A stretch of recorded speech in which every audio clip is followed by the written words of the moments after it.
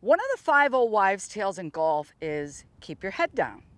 I'm going to show you why that's not important. What has to happen is the club head needs to go down to the ground to make the ball go up.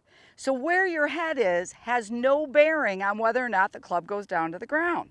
Staying in your posture, bowing over what I call partial puke is really important. So if I bow over and I hang from the hips and I crack my knees just a little bit, the club is going to rest on the ground and my arms are relaxed. So if I swing back and forth, the club head brushes the ground.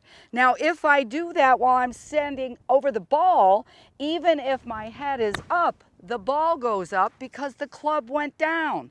So stop trying to keep your head down and allow the club head to brush the grass. I guarantee you the ball will go in the air. Good luck.